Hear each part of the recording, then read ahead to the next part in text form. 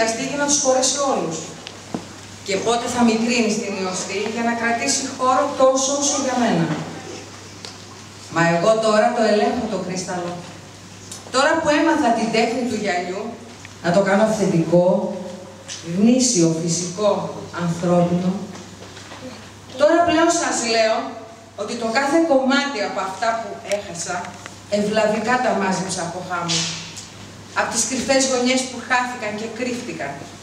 Και έφτιαξα σύνθεση ανάλογη της ψυχής μου, της ψυχής σας. Και τι φως, τι φως να δείτε που είχαν. Δεν έχω ξαναδεί τόσο φως ένα κομμάτι κρίσταλο. Αλήθεια σας το λέω. Στο τσιγάρο που κρατάω σας λέω ψέματα.